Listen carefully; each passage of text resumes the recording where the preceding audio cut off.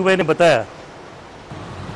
वैसे पूरे 27 संघ में हमारे बोरीली ईस्ट और वेस्ट के 27 संघ है टोटल। उन्होंने आज तक 25,000 किट का वितरण किया हुआ है। चार लाख के food packets daily food packets जो वितरित किए गए हैं।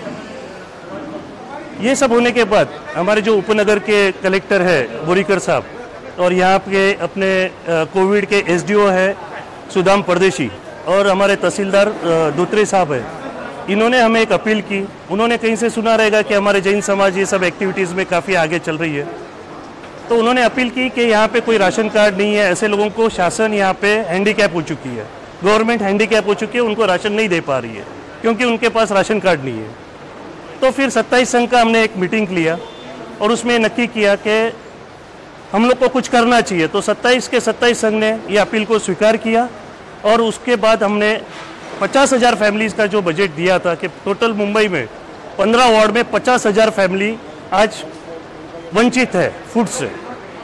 तो फिर हम लोग ने हमारा जो एरिया है, यहाँ के करीबन दस हज़ार फैमिलीज़ का, हम लोग ने उनको आज दो दिन, तीन दिन पहले ही हमने स्टार्ट किया है वितरण।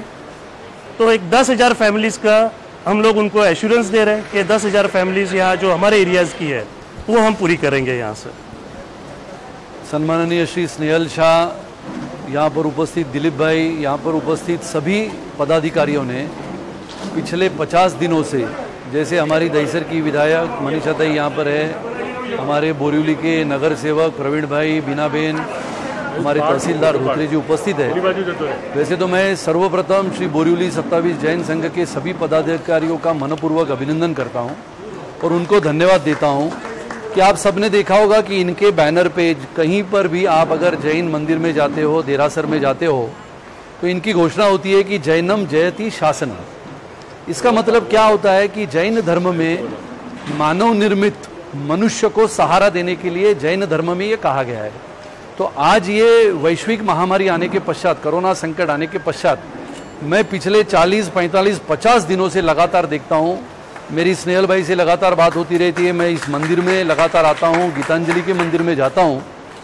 मैंने ऐसे कार्य करने वाले, ये जो पदाधिकारी है, कार्यकर्ता है, जो जैन धर्म में सबसे अच्छा मानव के लिए उसकी धर्म की रक्षा करते समय, उस हिंदू समाज की संस्कृति को आगे बढ़ाते समय, जैन धर्म की रक्षा करने के साथ साथ समाज के हर छोटे छोटे वर्ग में ऐसे महामारी के समय जात पात धर्म के ऊपर उठते हुए इस अनाज पहुँचाने का जो काम किया है, मैं कहता हूँ, बोरिवली, दहीसर, कांदिवली से ऊपर। मैं उस दिन मलाड़ के एक कोने में गया था तो मलाड़ में मुझे कहा गया कि हमारे घर में अनाज पिछले 40 दिनों से एक बोरिवली में, जामली गली में एक जैन धर्म का एक मंदिर है, वहाँ से आता है। यानी मैं आश्चर्यचकित हो गया कि ये जो नेटवर्क बना है ये नेटवर्क में जो हम मंदिर में आते हैं पूजा करते हैं इस पूजा के माध्यम से हम जैन धर्म के माध्यम से हमारी मनुष्य की सेवा करने के लिए मनुष्य के माध्यम से काम करते हैं। ये सबसे बड़ी सेवा है जो भगवान के चरणों में इन सभी ने अर्पण की है। मैं इन सबको मेरा मनपूर्वक शुभेच्छा देता हूँ।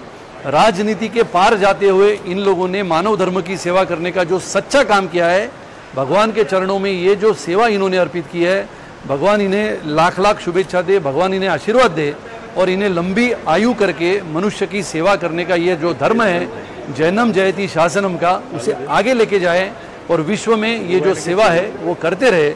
ऐसी मैं शुभेच्छा देता हूँ आप सबको। मेरे तरफ़ से जय जय